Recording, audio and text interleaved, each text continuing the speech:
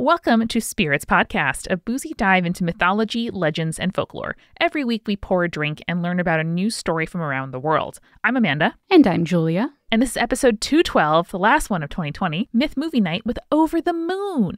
I regret that we weren't able to do this around mid autumn because that is really when the movie takes place. But I am glad that we got to it for the end of the year because I think it is a great story. I think it's a great movie and it's very sweet and it's one that we haven't touched upon yet in spirits. Absolutely. It was a really nice way to spend this last week of the year. So good selection, Jules. Plus, it's on Netflix, so everyone can kind of close out their year with a nice, feel good Netflix movie about loss and love. You know whose Netflix always has complete uh, editions of all the shows they want to stream? Is it our new patrons? Our new patrons, Bright Valkyrie, Peggy Pegs, and Jane. Thank you so, so much for supporting this little podcast over on Patreon.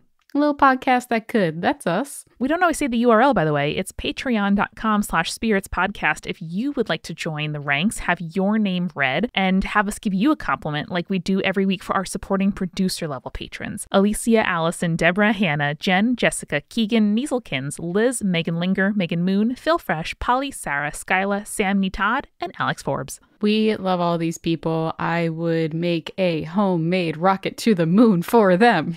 Hell yes. And thanks as well to our legend level patrons Audra, Chelsea, Drew, Francis, Jack Marie, Key, Lotta, Mark, Morgan, Necrofancy, Renegade, and BM Me Up Scotty. Now they just own the moon. Legally, they own the moon now. A hundred percent. Uh, Julia, I hope you had a great week off. What have you been reading, watching, or listening to?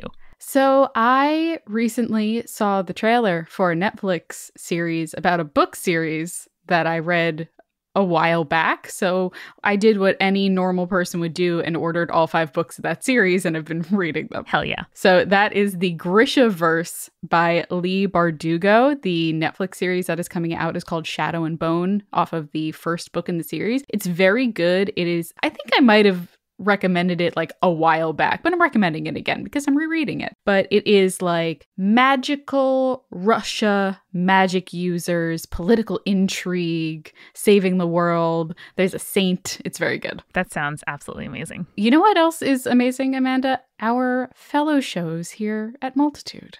It's true. It's been quite a year um, for many reasons, but one of them is that it's it's hard to be an independent media business, and I am just really proud that all of us are around and making shows and doing the stuff we love as a job, which is pretty amazing. So if you, sweet sweet conspirator, would like to listen to more stuff or want to help us out and recommend one of the multitude shows to a friend or family member who you think would really love it, it's a great time to do it. You can go to multitude.productions to check out all of our shows in one place, or just put Multitude into your podcast player and all of our shows will come up. Yeah, I'm the kind of person that one of my love languages is like, I really love this thing, so I want to share it with you. And one of the easiest things to do is recommending podcasts to other people so you can listen together and be like, oh my God, did you listen to that most recent episode of Exolore? Oh my God, let's talk about it because it's just showing that you're thinking of that person and it's a thing that you guys can talk about. Absolutely. Well, we really appreciate all of you being there. We appreciate you doing this. We appreciate that we have a whole nother year of uh, making spirits coming up. And I don't know, it's just, it's a nice kind of grateful feeling to go out on and continue the work in 2021. Absolutely. So, without further ado, everybody, enjoy Spirits Podcast episode 212 Over the Moon.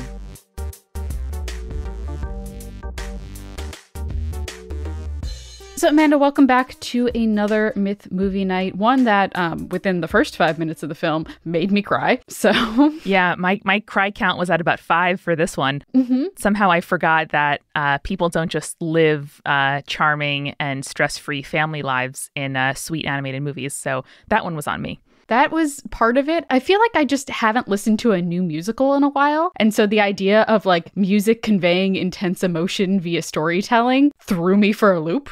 Oh boy. How dare they? Oh, I just miss it. I miss Broadway. I miss uh, live stage. And uh, now I'm real sad.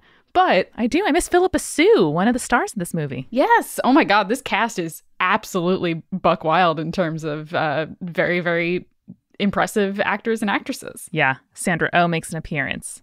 Uh, Margaret Cho makes an appearance. We have heartthrob John Cho. He's there. It's just, it's incredible. It's, it's honestly great. I just this cast is incredible. But let's uh let's do our summary, Amanda. I believe it is your turn. It sure is. I'm going to do my best. So, as usual, everybody, if you want to avoid spoilers and uh, go see the film on your own, you can skip forward about three minutes. We're going to do a two minute summary and then a little bit of a discussion afterward. Yeah.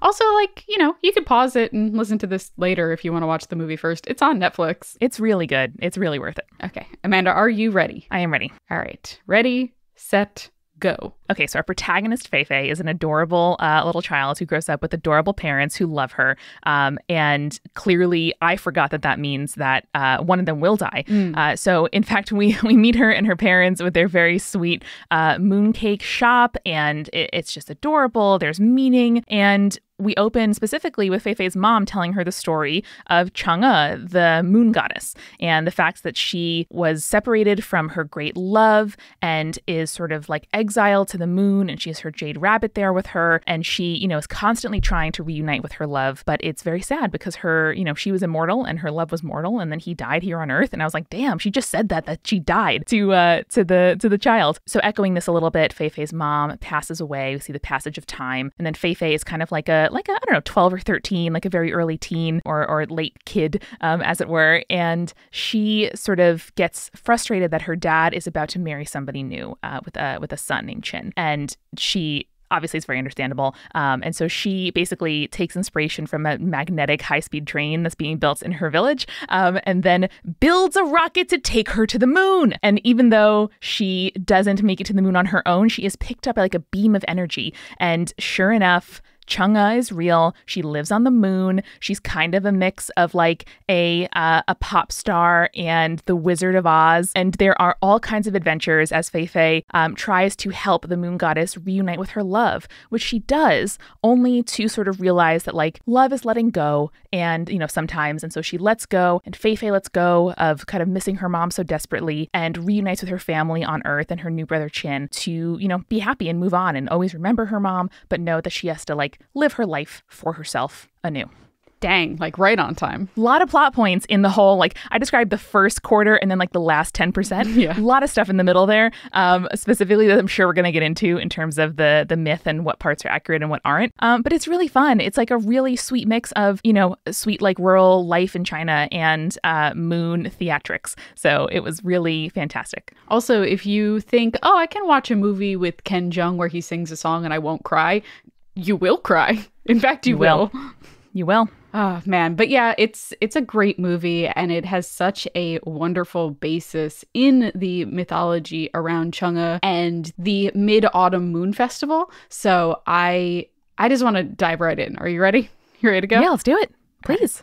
So, Over the Moon focuses on the story of Feifei and her relationship with her family and their story surrounding the moon goddess Chang'e. As the movie kind of implies uh, from the various stories that the aunties tell over dinner, there are many different versions of Chang'e's story, uh, some portraying her in a better light than others, which I think is uh, fairly common in a lot of mythological stories and is a result of like different gods and goddesses going in and out of style through the generations and receiving more or less worship depending on who's in power. Uh, we see that a lot with the Greeks, for example, like when a one city state would take over another city state, all of a sudden, like, oh, well, we like Athena a lot more now because, you know, Athens rules us. So Yeah. I think that's a pretty pretty common thing and especially when you look at the vast history of Chinese folklore and mythology and just Chinese history in general. However, there are some key points that the story of Chang'e tend to mention or incorporate, uh, most of which we see in the film. There is her love of Hui, uh, the archer. Uh, there is usually an emperor, which we don't really see in the film. Uh, there is a elixir or pill of life or immortality, and of course, the moon. And uh, this story is, as the movie makes it clear, tied to the Mid Autumn Moon Festival, which uh, this year was on October 1st. So unfortunately, we missed it, but maybe next year we'll do something to kind of uh, to commemorate that day. It actually fell on the same day this year as National Day, so it turned into like this big eight day festival, which is very cool. Like I like when different holidays kind of align Yeah. with each other. Quite synchronous. But let's tell the story of Chang'e, or at least try to cover some of the different versions of it. So it is said that Chang'e was the beautiful young woman who worked as a servant in the Jade Emperor's palace. Now, the Jade Emperor was the first god, and his heavenly palace was, of course, in the heavens, which he ruled over as well as earth. For context, he's not the creator of heaven and earth, but rather assisted the divine master of heavenly origin, who then chose the Jade Emperor as his personal successor. So that's that's kind of cool little background. That's a really interesting mix, I think, of like uh, divine selection and being good at your job, which uh, is just really resonant for me. It's like the best internship. Yeah.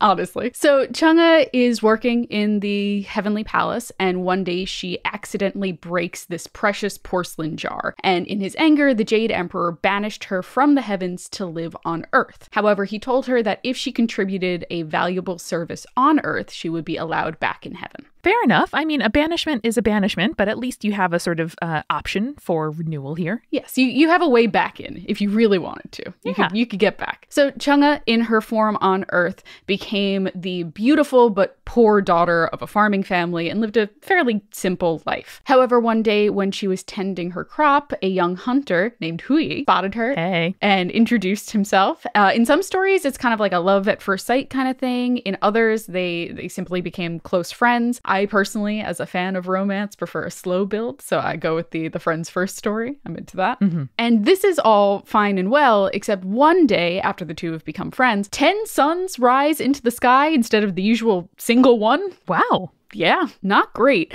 Uh, and odd in itself, but uh, as you can imagine, having 10 suns in the sky, the Earth suddenly becomes very hot and the suns begin to burn the Earth. I mean, not good. Not good you you think like, oh my gosh, what a beautiful display, and then oh no. So it was Hui, the expert archer that he was, who came to the aid of the Earth with his bow and his arrow. He's able to shoot down nine of the suns, leaving only one remaining. Interestingly, there's this little like tidbit like each time he shoots down a sun, it turns into a, a three-legged crow or a three-legged raven, which I'm not entirely sure what that's supposed to represent, but I think it's a cool little fun fact. There's a really beautiful motif of what uh, looked. I mean, the thing that I've seen that's closest is a heron. I'm sure that wasn't the kind of bird that it is, but mm-hmm. like a mm-hmm. beautiful long-legged crane, you know, white type bird. Yes, we'll talk about the representation of what the cranes talk about later. oh, good, excellent. You. I was like, there was only two legs. I was counting. I knew it was going to be symbolically rich.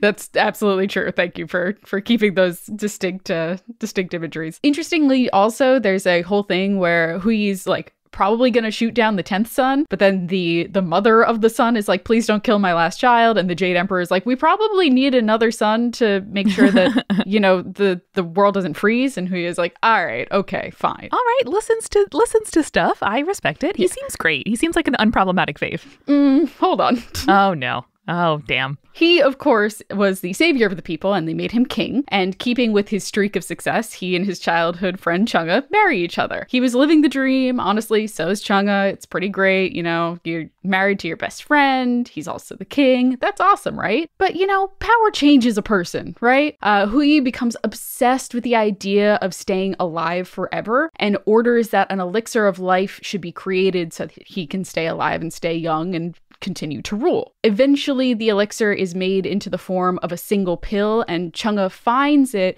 before it is presented to Hui. What happens next depends on which story you're hearing, uh, just like the aunties are arguing at the table in the movie. But Chang'e swallows the pill. In this version, where Hui is like the tyrant king, Chang'e is afraid of what he might do if he was to live forever and that the people he ruled over would continue to suffer. So that's why she takes the pill, so that he can't have it and he can't continue to rule. And Hui obviously is going to be extremely mad about this. And so he chases his wife, who escapes by jumping out a window of the tallest part of the palace. But rather than falling, she begins to float into the sky. And whether that is because of the immortality pill or divine intervention is again dependent on the story you're listening to. Most people attribute it to the pill, which is like, right. man, it lets you float it grants you like immortality and eternal youth. That's pretty good, pretty solid, honestly. Yeah, there are many kinds of immortality um, sort of uh, modifications that we see in stories. And the one that I like the most is the one where like you are constantly averting near death scenarios versus like heroes style, like you get injured and then you heal really fast, or you, you know, just kind of like bounce back or you reincarnate or reset. I love the ones where it's just like, oh, nope, like this knife misses you very slightly. Or, you know, yes, you fall on a, you know, shopkeeper's awning or something very cool like that. It's like immortality through extreme luck. Exactly. Yeah. I like that a lot. So as Chang'e floats up to the moon, Hui attempts to shoot her down with his arrows, but apparently his aim isn't what it used to be because he uh, just straight up misses and she's able Damn. to float away. So Chang'e arrives on the moon where she is accompanied by the Jade Rabbit, who is also already there. We'll talk about that in a second. Uh, and he is said to be constantly pounding the elixir of immortality for her in a large mortar. Like sh- it seems like she has to keep taking it in order to mm-hmm. stay immortal, which like the, Interesting. the movie kind of plays with. He's he's always like doing something. Yeah. In one version of the story, it is said that the celestial queen mother, who I believe is supposed to be the wife of the Jade Emperor, or at least has a child or children with him, she turns Chang'e into a three legged toad when she arrives on the moon as punishment, which I think the film kind of pays homage to with like those giant lunar toads that we see towards the end of the film. And also the yeah. fact that like Chin has a, a, a, toad frog companion for the film, which is very Definitely. cute. It's also like the chillest frog I've ever seen in a movie.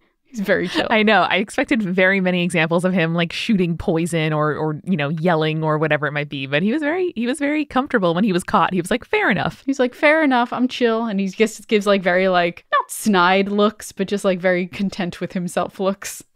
yeah, it's I mean, listen, this is a complete side note, but every time I watch an animated movie sort of like this or in this style, I'm amazed by the nuances of expression that it manages to convey. It's it's truly so artful. It was so good. I also noticed that the eyebrow game in the animation of all the people is extremely good. Yes. No, it really is. Like Chang'e's eyebrows, you can see like every individual hair of her eyebrows and they look great. Yeah, and then at the very end of the film there is a shot involving a willow tree and I like backed it up to watch again several times because I sort of pictured it. I think sometimes like when they were pitching this movie, you know, and got approval to do it cuz like that's the thing that I do in my job now um, with various projects, like what was the image that made somebody say yes. And to me, if they had like painted that still with the willow tree, that would make me say, like, damn, this team knows what they're doing. Okay, yes. So all of the outfits that Chang'e wears in the films were actually designed and created by a haute couture Chinese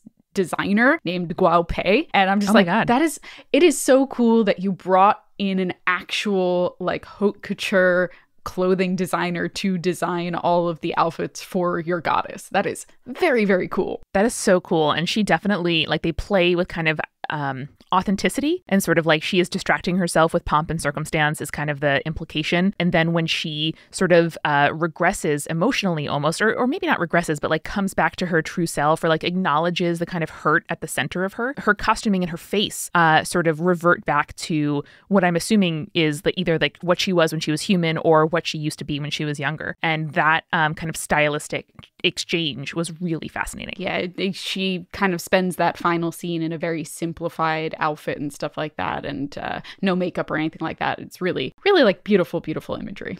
Yeah. So, in the versions of the story where Hui is the tyrant, uh, this is the reason that the Mid Autumn Moon Festival is celebrated to kind of honor the sacrifice that Chang'e made so that Hui would like not live forever. So, that's a reason that we, you know, celebrate. But yeah. there is another version of the tale that paints Hui in like a much better light. Uh, he kind of lives this quite uh, storied life as an adventurer after his sun slaying. So he kills and imprisons several of these like fearsome mythological beasts on bequest of the uh, the king King Yao because they're causing problems for his kingdom and for humanity in general. And so for his services, the gods gifted Hui the pill of immortality so that he might ascend to godhood, which is like a big deal, huge deal. Dang.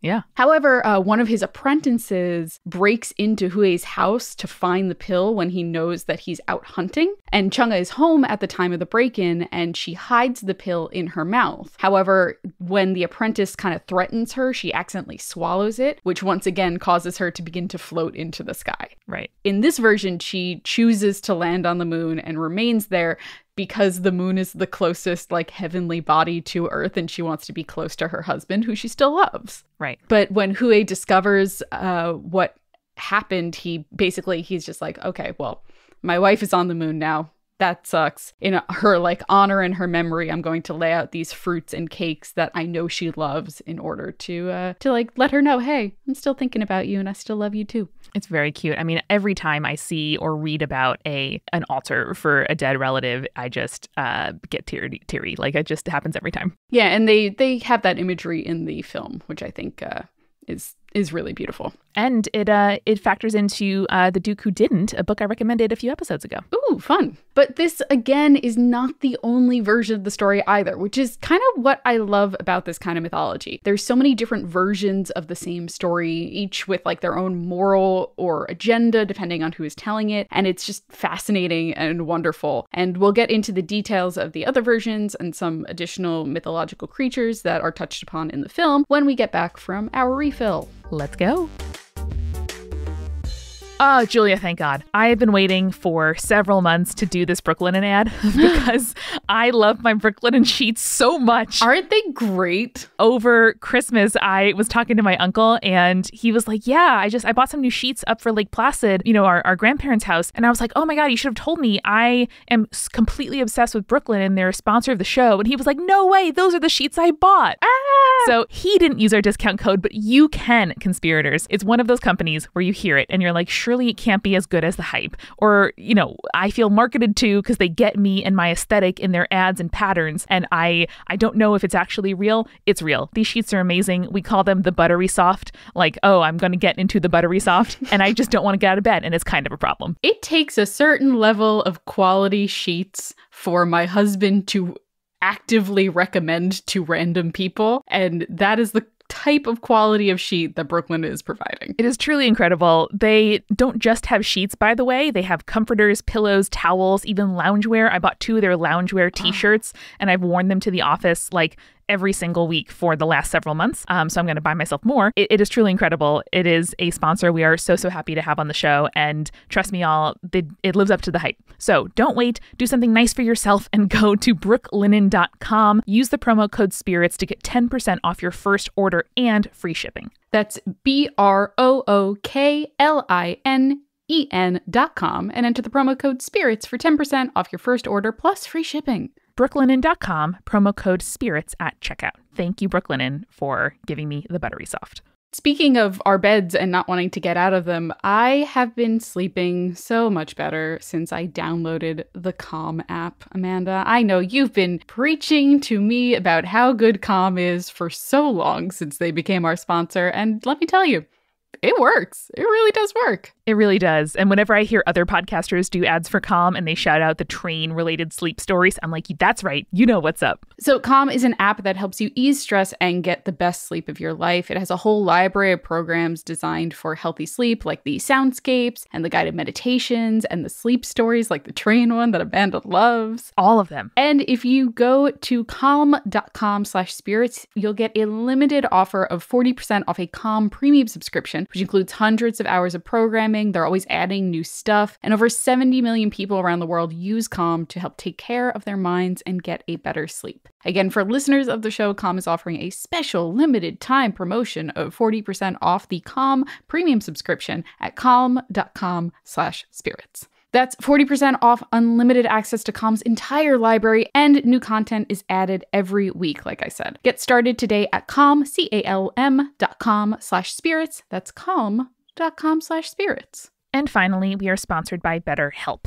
If there is something that is on your mind this time of year, or feelings you have about how the holidays may look different or what the new year might bring, it is really, really helpful to be able to talk that over with a professional therapist. And I get my therapy through BetterHelp. That is a service that lets you start communicating in under 48 hours with a therapist. It's not a crisis line, it's not self help, it is just truly professional counseling done securely online. I love that their experts have a range of expertise. So even if you might not locally have a therapist who specializes in whatever it is you're looking for help with, you can find that on BetterHelp. And they also make it really easy to switch counselors if you need to. That is uh, not not free or easy offline. So I really appreciate that. And it's even more affordable than traditional offline counseling, and they offer financial aid. But if you want to get started with our discount code, you can go to BetterHelp, that's better H-E-L-P dot com slash spirits to join the over 1 million people who've taken charge of their mental health with the help of an experienced professional. That is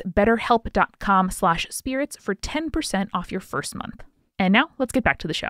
So, besides eating mooncakes, which we'll get into in a little bit, one of the traditional drinks of the Mid Autumn Moon Festival is cassia wine, which is kind of this sort of mellow apricot or peach like flavor. It's really nice. Uh, I'm not sure how easy it is to find in the United States, but if you find some, definitely pick it up. It's the perfect pairing for this film. Otherwise, I would suggest something with a similar flavor profile. I picked a nice rosemary, sage, and peach cocktail for this one, which I very much enjoyed. So I like the I like the flavor of peaches. Peaches are great. And I know orange wines are very uh like trendy right now in certain circles, but my local wine shop had a really interesting selection. So I got one that's almost like a tangerine flavor mm-hmm. profile and color, which I thought would be a pretty okay uh, analog. Nice. If you have the name of it, let me know. I will post it for our patrons. I will. So let's get into some of the other versions of the story that we see mentioned or alluded to in the movie. So the film starts off with the space dog, which is incredible, but also in the final moments of the movie, we see that Fei Fei's family has adopted a Shar Pei and named him Space Dog, which is extremely cute. I love that. It is extremely cute. Yeah, her, um, I won't spoil it, but her uh, pet rabbit's storyline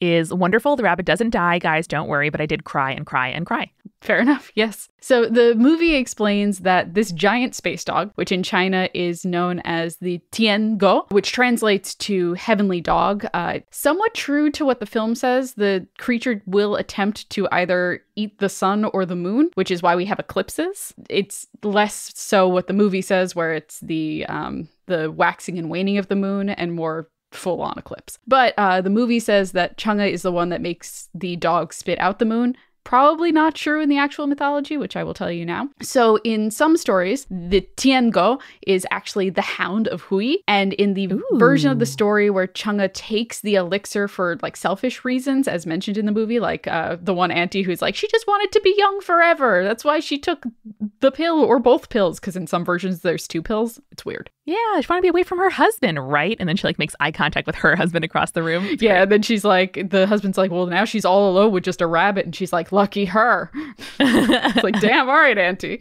So as she floats towards heaven after taking the pill, the quote, black eared hound, Tiangou, uh, witnesses her treachery and begins to bark at her. Chang'e is kind of surprised by the barking and drops what remains of the elixir and the dog begins to lap up the remaining drops and he too begins to rise into the air after Chang'e and also grows in size to like monstrous proportions. Oh my god, so cute. He's Clifford the big red dog, but uh, giant space Shar Pei. May I suggest um, Hellhound and Space Pup? Very cute. Space Pup into it. So Chang'e flees to the moon and attempts to hide there, but the dog swallows the moon and Chang'e whole. Oh no! Not great, right? So the Jade Emperor and the Celestial Queen Mother see that, hey, like the moon's been swallowed. That's not great. And they see this giant dog, and the Celestial Queen Mother recognizes the dog as Hui's. So she sends soldiers to go capture the dog, and when she does, the Celestial Queen Mother renames the dog Tiangou, which it, before it was just referred to as the black eared hound. Now it's the heavenly dog. And she assigns the dog to guard the southern gate of heaven, but only after it spits out the moon and Chang'e. I'm sure many pet owners have been in a situation where you're just looking at your dog and you're like, spit it out. Spit it out. Or you have to like spit kind of pry their jaws open and be like, yeah, you cannot swallow that. Come on. I know you want to, but you really can't eat the moon. before the origins of this story, where it is a part of Chang'e and Hui's story, the Tiangou was not exclusively depicted as a dog. In early translations, it was said to resemble a fox with a white head, and it was seen as a much more like benevolent form in this way. It is known to ward off evil and is seen as a guardian. A real Alola Ninetales situation. Very much so, yes, but not icy. no, not icy, just white. So let's next talk about the jade rabbit or the moon rabbit. The idea of the moon rabbit is fairly common of a theme found in a lot of East Asian folklore, and most historians trace the original story to China, where it then spread throughout the rest of East Asia. How the jade rabbit ended up being on the moon again starts with the Jade Emperor. So he's doing that thing that a lot of gods do in a bunch of different stories where he's posing as a starving old man and then begs for food from four animals. There's the monkey, the otter, the jackal, and the rabbit. So I, I don't know why God's like doing this. Why do gods like testing mortals by being like, I'm an old man, please feed me? I think it's the ultimate in kind of like power tourism, where somebody with a lot of power, you know, pretends to be somebody who uh, doesn't have it, not so they can like you know, put in a strong social safety net in many cases or, you know, actually fix a problem, but to be like, man, this sure is different, isn't it? It's like undercover boss, but for gods. It really is. Yeah. And again, you know, undercover boss, like, hey, if you're the CEO and your employees are, uh, you know, full time employed and can't afford basic necessities, maybe don't just buy them a car. Maybe raise your minimum wage by yeah. 50% and provide healthcare for all employees. I don't know. That That's would be great. Me. That would be great, huh? Anyway, so the Jade Emperor is pulling this undercover god shit. So he asks them, like, hey, can you get me some food? So the monkey goes and gathers fruit from the trees for the old man. The otter gathers fish from the river. The jackal steals a lizard and a pot of milk curds, because that's what jackals do, I guess. However, the rabbit knows, hey, I really can only gather grass. And, like, humans can't eat grass, huh? That's not good for their diet. That's not going to sustain this old man. So the rabbit does what he feels is the only thing he can do. And he sacrifices his own body and no! throws himself upon the fire that the old man had started. He's like, This is the only thing this old man can eat my flesh, and just jumps. As soon as he does so, the fire does not burn him, and the Jade Emperor reveals his true form. In very elaborate, it's me, Anastasia look.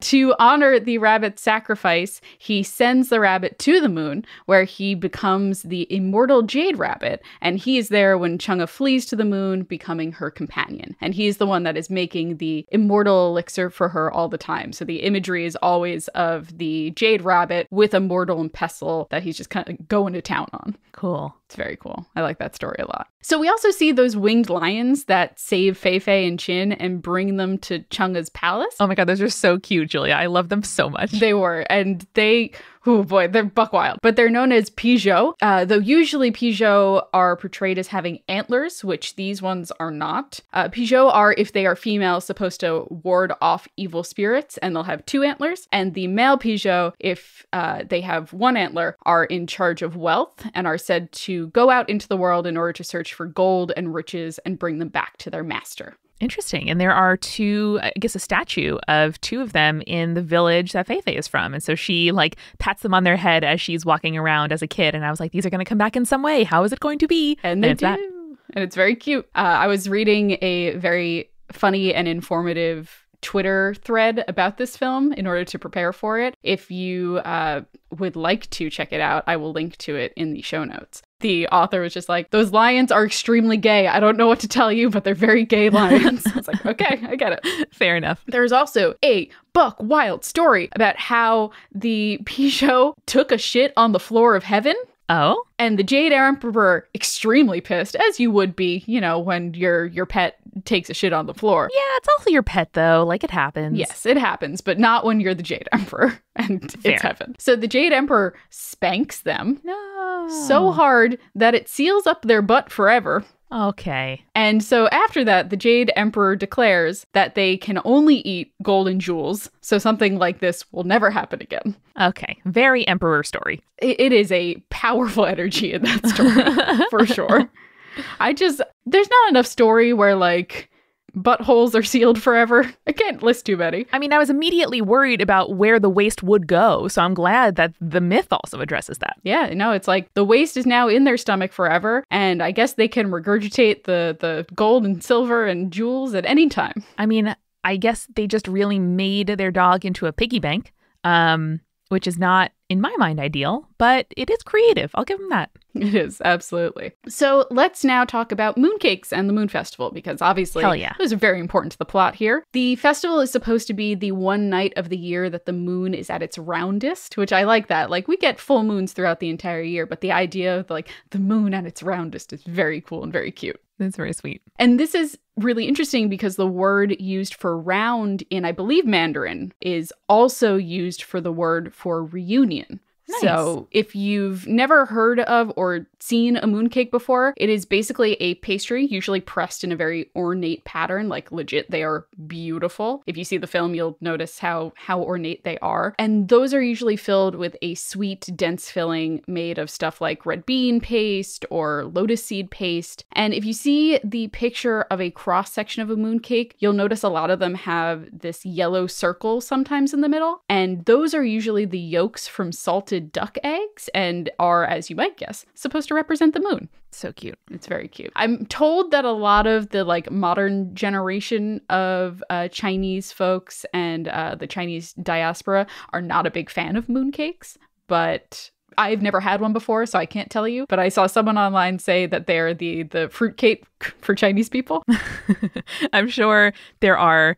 I mean, any of any kind of family recipe like that, I think it's it's rare that the way your family makes it is like this is the shit, and nothing should change. Um, so I I definitely understand that. Chef Melissa King, who won the recent season of uh, Top Chef, made a very very beautiful mooncake and does like cooking lessons and stuff. So if you're interested in one chef's modern interpretation, check her out. She's at Chef Melissa King. Ooh, very cool. I will link it for our patrons. The festival also coincides typically with harvest season, so it's used as a time for reunion, but also to honor hard work and the harvest. And round foods are very popular during the festival again because of the idea of like completion and togetherness but also like harvest season food so like crabs as we saw in the movie are in season during this time and so they're a very popular dish to eat Makes sense. yeah. As you mentioned before, I wanted to talk a little bit about the imagery of the white crane that we saw in the film, which is kind of implied to be the spirit of Fei Fei's mother, which is very sweet. Cranes are very popular and important uh, in Chinese mythology. Typically, they are symbolically connected with immortality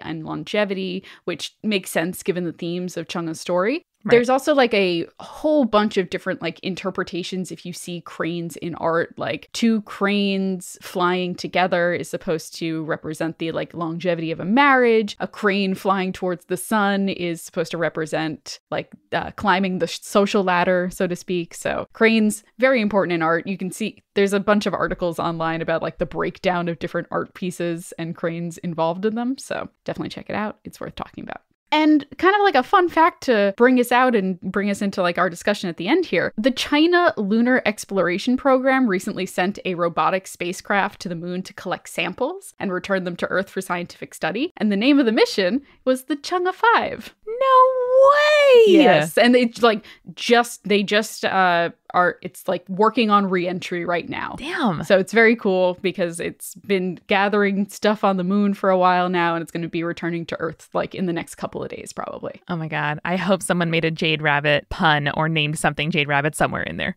I really hope so. But I think that this is really interesting because it does exemplify what I love most about this film, which is kind of the juxtaposition of modernity and ancient tradition. Like Fei Fei lives in this very traditional style village, but interacts with like the new maglev train that is coming into the area. And rather than portraying this new technology as something that will like ruin the area or is going to like disrupt her lifestyle, uh, the movie really shows that the new and the old can kind of exist simultaneously and harmoniously. And I think that's a really beautiful aspect of the film that extends to Fei Fei's home life as well. She can still have those memories of her mother while loving a new family that she has now. And it is, in its essence, the film is about moving on, but still treasuring the memories and traditions of the past. And I think that's a really kind of beautiful segue into we our discussion of the film. Absolutely. I wasn't sure at first the time period that the movie was set in, and I realized that that was kind of a, an assumption that I was bringing to the table, at least, you know, someone who consumes for the most part US based media, that there aren't a lot of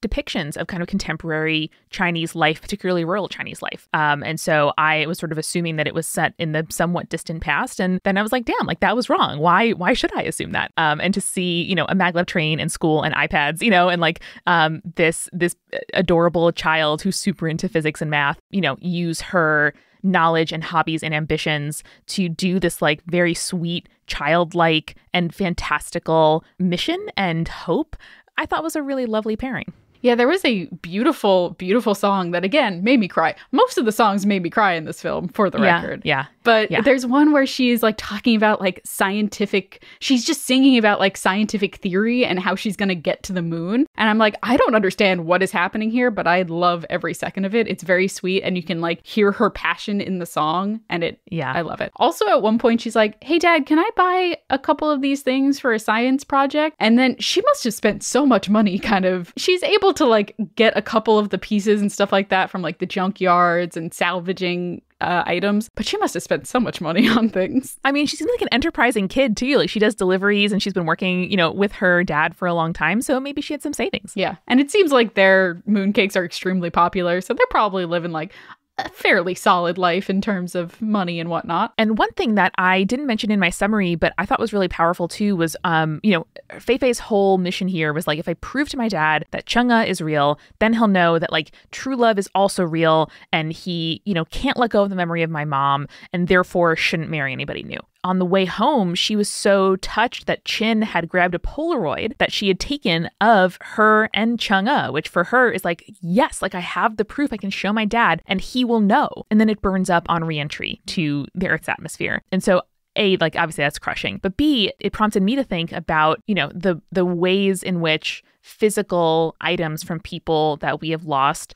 do hold important memories, but also that we don't need those physical reminders for the memory of the person to be real. And there's sort of like, doesn't need to be proof that something mattered to you in order for it to matter to you. Yeah. And throughout the film, we see first that um, Fei Fei's mother has this like beautiful silk scarf that has a portrayal of Chang'e on it. And after she passes away, Fei is wearing it very very often and it's kind of used as the one as like a motivation for her to go and find that evidence of Chang'e for her father but also it does like you said kind of tie her to her mother's like past and existence and stuff like that and so I think it is very sweet but it's not like one of those things where you know she lets it float into the breeze as like an acceptance of her mother's death. Oh my god I was so scared that was going to happen. I thought she was going to give it to the bird to take to the moon and I was like no you need that right. But there is also that imagery of like she has this little Chang'e doll that her mother had given her as well, which she thinks is the quote unquote gift that is going to help yeah. Chang'e bring Hui back. And it ends up being destroyed. And I think that that is kind of that representation of like we have to let go of the things that kind of bind us to our loss rather than, you know, honoring the memory of people who are past, but also letting them go. Yeah. And like there are just, uh, there's so much here. I thought the idea of like a, a blended family or, you know, a, a grown child whose parent is marrying somebody new, like that is also something that is really fucking hard. And it's hard for me, you know, as an adult. I'm sure it's really hard, especially when you're a kid. Um, and so seeing that, you know, the, the symbolism of using a mooncake recipe with dates versus not with dates, mm. and, you know, Fei Fei at first, understandably being very possessive of it, but then later, you know, realizing that it's okay to blend traditions, it's okay to, you know, have certain things that are the way you've always done them and are meaningful to you, and certain things that take on new meaning and making space for those new rituals in your life and new, you know, areas of meaning and of symbolism, I think is really powerful. I also love that you know, you took us through, and that there are, I'm sure, for people who grew up with this myth, so many instances of variation. And that's one of the things I love about, you know, studying and learning about other uh, mythologies and stories as we do here, that the stories that we find meaningful say so much about us. Um, and looking at the differences in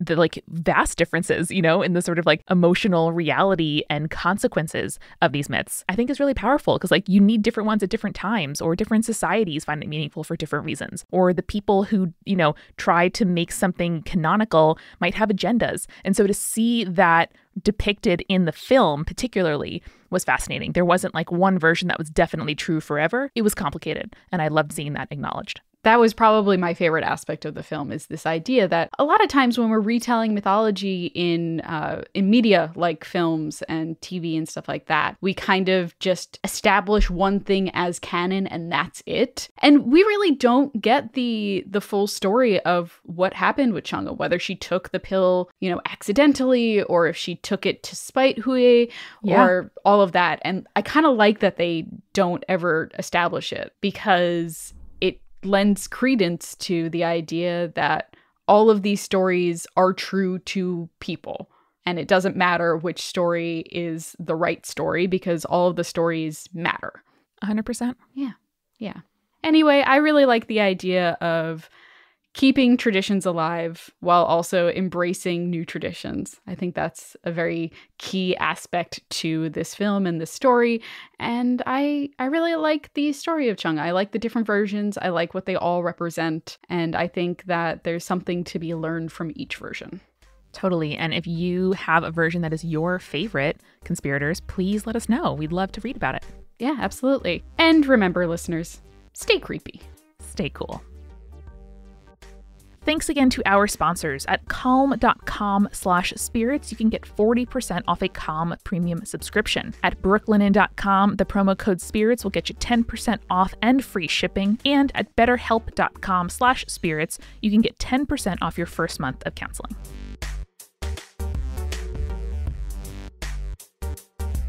Spirits was created by Amanda McLaughlin, Julia Schifini, and Eric Schneider, with music by Kevin MacLeod and visual design by Allison Wakeman. Keep up with all things creepy and cool by following us at Spirits Podcast on Twitter, Instagram, Facebook, and Tumblr. We also have all of our episode transcripts, guest appearances, and merch on our website, as well as a form to send us your urban legends at spiritspodcast.com. Join our member community on Patreon, patreon.com slash spiritspodcast for all kinds of behind-the-scenes stuff. Just one dollar gets you access to audio extras with so much more available too recipe cards, director's commentaries, exclusive merch, and real physical gifts.